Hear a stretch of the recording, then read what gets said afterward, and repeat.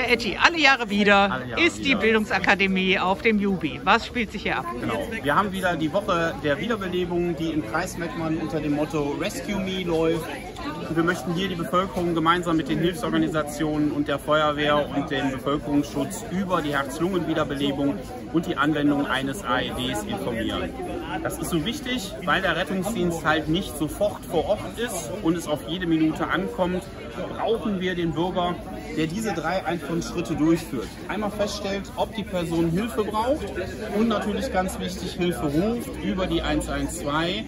Und wenn festgestellt worden ist, dass der Patient nicht reagiert und keine Atmung hat, dann auch eine fachgerechte Herzdruckmassage durchführt.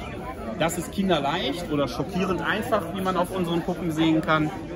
Und das zeigen wir hier halt dem Bürger, damit wir auch die Quote, sage ich mal, auf holländisches Niveau kriegen. In Deutschland haben wir in 40 Prozent der Fälle einen Ersthelfer am Patienten, wenn der Rettungsdienst eintrifft. In den Niederlanden sind es zum Beispiel schon 80 Prozent.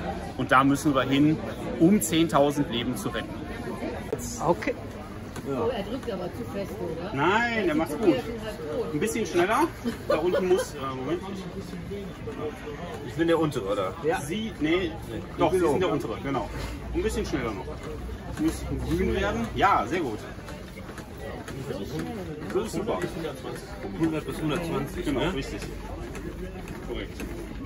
Ja, weil geben wir das deutlich mehr Energie an. er das macht, Ich stehe schon länger jetzt. Mindestens 5 cm.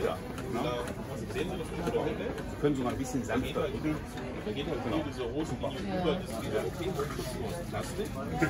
Vor 52 ist das auch nicht so doll, ne? Ja, aber du darfst nicht vergessen, der wir haben keine Beatmung, ne? Genau, richtig. Dadurch quasi. Das heißt, jetzt 52 Prozent. Der wertet das aus und berechnet das, wie die Drucktiefe war, also ob sie zu flach oder zu tief gedrückt haben, ob sie in der richtigen Geschwindigkeit gedrückt haben und natürlich, ob die Unterbrechungen gemacht worden sind, weil er ist jetzt eingestellt auf 30 Kompressionen und zwei Beatmungen. Ach so, okay, die fehlen. Genau, und der rechnet daraus einen Score und sagt einem dann, wie gut man ist.